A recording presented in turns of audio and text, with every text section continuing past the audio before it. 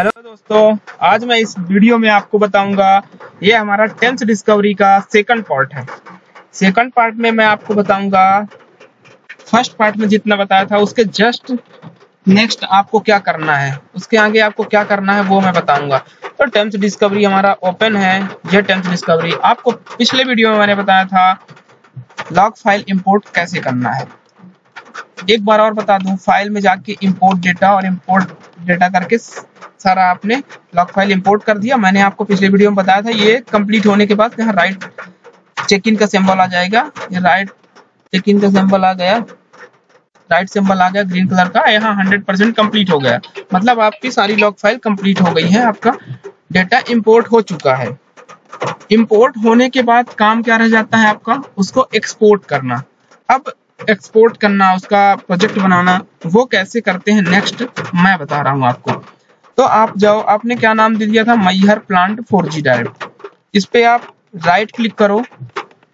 Right click किया आपने open project आया। ओपन प्रोजेक्ट कर दिया हमने। ओपन प्रोजेक्ट करने के बाद, अब देखते हैं कौन सा विंडो ओपन होके आता है।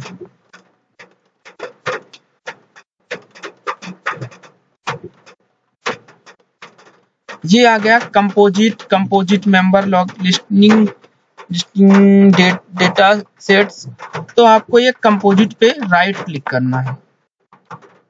ये आपने राइट क्लिक किया।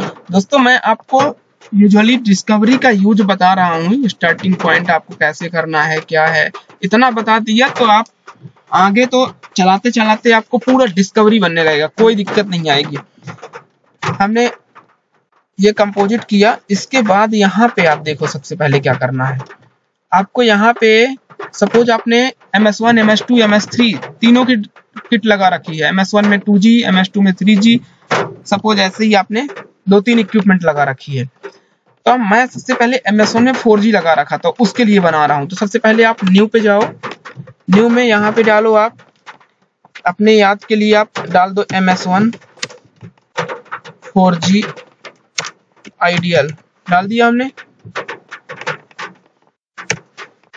ओके कर दो आप। ओके किया आपने, यहाँ पूरा ब्लैंक हो गया। अब ध्यान से देना, देखना है आप, यहाँ पे है by drag drop and by spread sheet filtering. By spread filtering में फिल्टरिंग में आप टिक करो, ये टिक कर दिया हमने। यहाँ क्लिक करने के बाद, ये नीचे आप देख रहे हो, four G drive Maihar plant. अभी आपकी कोई लॉग फ़ाइल ये राइट में नहीं दिखा रही है। लेकिन जैसे ही आप four G drive Maihar plant में क्लिक किया आपने, फिर भी यहाँ पे नहीं दिखा रही। अब इस चीज़ का आप ज़रूर ध्यान रखना। कई बार आप सोचने रखते हो, यहाँ पे लॉग फ़ाइल दिखा के नहीं रही? गई तो गई कहा? आप रिफ्रेश स्प्रेड सीट रिफ्रेश करो आप इसको।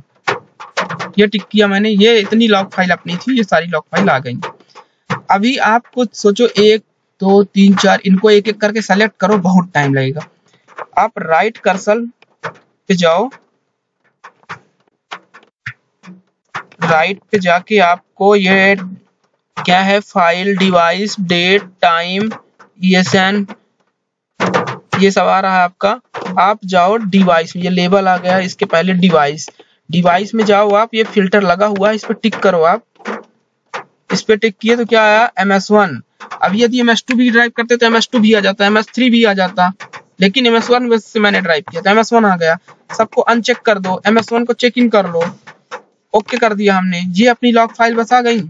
अगेन आप लेफ़्ट वाला कर्सल में जाओ और टिक करो। ये अब पहले वाले पॉइंट पे आ गए। अब आपको एक एक करके ऐसे सेलेक्ट नहीं करना है कि ऐसे आप सेलेक्ट करते बैठो। नहीं, आपको प्रोफेशनली काम करना है। आप चेक ऑल करो। ये आपने चेक ऑल कर दिया। सारे चेक इन हो गए। अभी आपको कुछ नहीं करना है। आपने नाम तो दे ही रखा था। नाम नहीं दिया होता तो आपको सेव एज करना पड़ता। बट नाम दे रखा आपने सेव कर दो आप बस। सेव हो गया। ये आपका सेव हो गया। अब आपको सपोज़ हमने इसी पे MS2 भी लगा रखा था। इसी लॉग फ़ाइल में MS2 की भी ड्राइव की थी। MS3 की भी की थी। तो अपन अभी क्या करेंगे? मैंने बैक कर दिया। जैसे कि ये अपना वापस आ गया। अभी आप अगेन न्यू पे जाओ। न्यू में जाने के बाद आप एम एस टू लिख लो। एम एस टू लिखने के बाद आप जैसे टू जी की ड्राइव किया था एम एस टू में। टू जी आइडियल या डेडिकेटेड ओके कर लो। कर लिया। सेम प्रोसेस क्या? By filtering four G data select कर लिया। और क्या?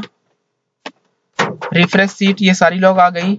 अब आप राइट पे जब जाओगे तो ये जो डिवाइस में अपना MS1 आ रहा है तो वहाँ पे MS2 भी आता।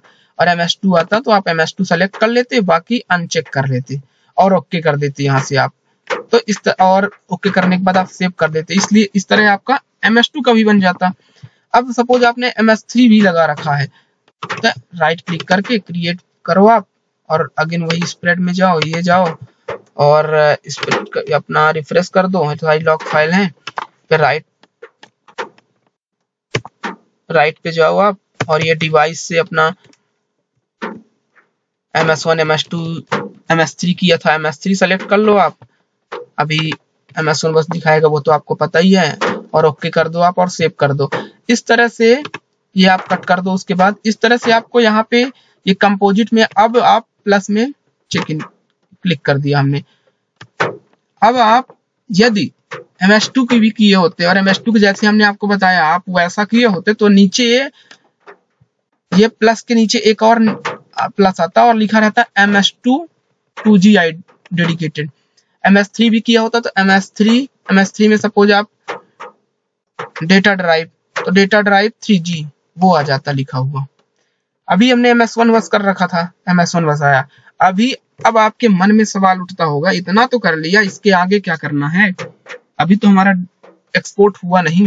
हाँ एक्सपोर्ट नहीं हुआ है आपका बट आपका इम्पोर्ट हो गया है सारा लॉग्स और एक बार इम्पोर्ट होने के बाद बहुत ही जल्दी होता है डिस्कवरी में। अब एम एस वन में ये प्लस में आप क्लिक करो, हमने क्लिक किया। अब दोस्तों मेन कहानी यहाँ से स्टार्ट होती है। ये तो अपने हमने बता दिया इंपोर्ट करना लॉग फ़ाइल बहुत सरल था। अब मेन कहानी स्टार्ट होती है, यहाँ से हम इतने पैरामीटर में पैरामीटर सेलेक्ट कैसे करें? है ना? तो ये धीरे धीरे आप सर्च करते करते कर लोगे बट आपको बहुत टाइम लगेगा। अभी फ़िलहाल मैं आपका 4G की लॉग इंपोर्ट कर रखा हूँ 4G की ड्राइव कर रखा हूँ तो मैं 4G का आपको बता देता हूँ। LTE, ये वाला LTE आ गया। आप LTE में नीचे आप सर्च करते जाओ। ये L L surveying cell signal quality इस, इसके प्लस में आप चेक क्लिक कर दो। प्लस में क्लिक किया हमने surveying cell R S R P इस पे टिक किया और राइट क्लिक करके क्या आएगा? सेंड टू मैप व्यू मतलब मैप व्यू मैप में शो करना, हमने मैप व्यू कर दिया। देखना है आप। यहाँ आपको कोई कंफ्यूजन हो, आप कमेंट बॉक्स में करिएगा कोई भी दिक्कत आती है आपको, आप मेरे से डायरेक्ट कांटेक्ट करिएगा, मैं आपको बताऊँगा।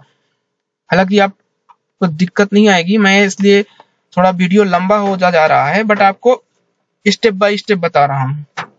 ये आपको आर एस आर पी का जहाँ जहाँ आपने ड्राइव किया है उसका व्यू आ गया। ये आपका एक्सपोर्ट हुआ दोस्तों।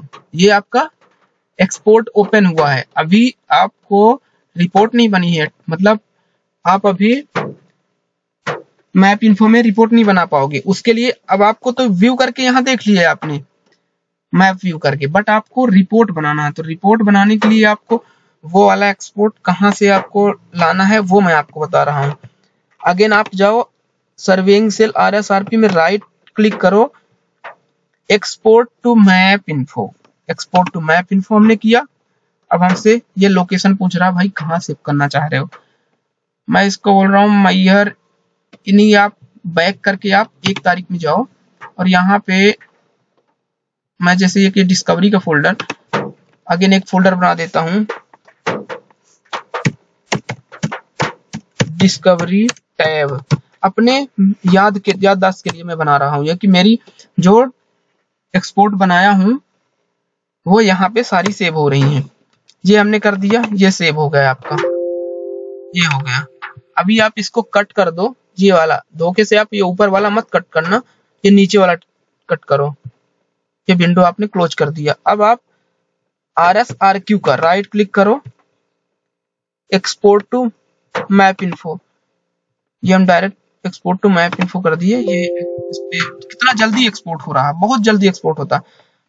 अब आपको सपोज़ साइन आर का चाहिए राइट टिक करो आप एक्सपोर्ट टू वही मैप इन्फो ये भी एक्सपोर्ट हो जाएगा।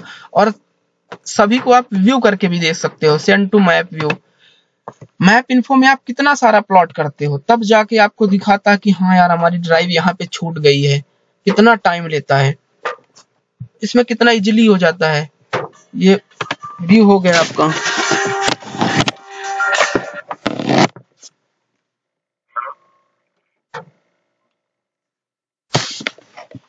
ये